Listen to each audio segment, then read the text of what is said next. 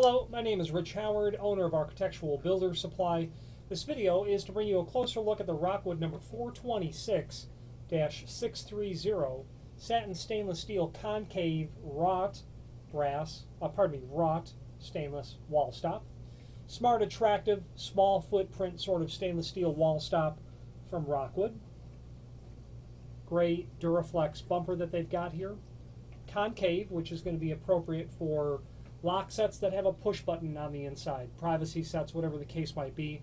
You don't want the door to open, hit the wall stop, and then unintentionally depress the button. That is that's why you would use a concave version.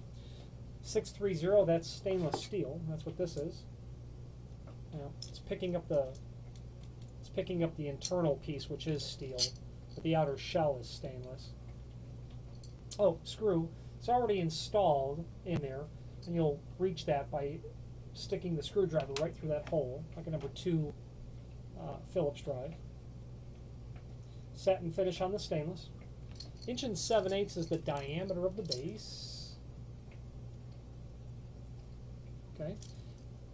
We've got a projection of one inch. It's a little bit heavy on one inch, but right in that range. Fastener, uh, what they call a toggler, or kind of like a hollow wall anchor, along with a, a plastic anchor. And that screw is already inserted. Available in different architectural finishes. is a very smart little, inexpensive, architecturally pleasing uh, wall stop. Uh, there's a link below this video to the product brochure, which shows this item along with its sister product so that you can make a really better decision uh, if this 426 is the right item for your needs from Rockwood.